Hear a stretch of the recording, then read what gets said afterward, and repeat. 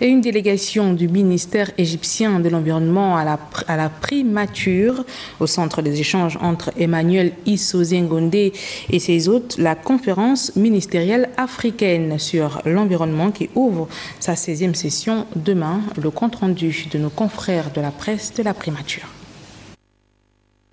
Les travaux de la conférence ministérielle africaine sur l'environnement qui s'ouvre ce 15 juin à Libreville portent sur un thème suffisamment évocateur.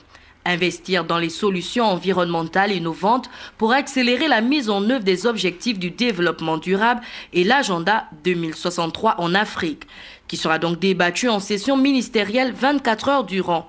Le ministre égyptien est donc venu exprimer toute sa gratitude au chef du gouvernement, Emmanuel Isozengonde, pour la place qu'accorde le gouvernement gabonais aux questions d'environnement. Today I have the, pleasure and honor to meet uh, suis ravi et très honoré d'avoir euh, eu l'opportunité de, rencontrer Monsieur le Premier ministre.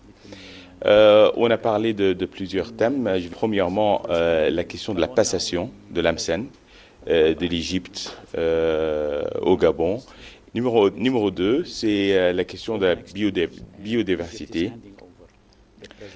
Nous, l'Égypte tiendra la, conférence numéro 14 du COP sur la biodiversité, COP 14. Et bien sûr, les questions de biodiversité sont des questions d'importance majeure, soit pour le Gabon, soit pour l'Égypte.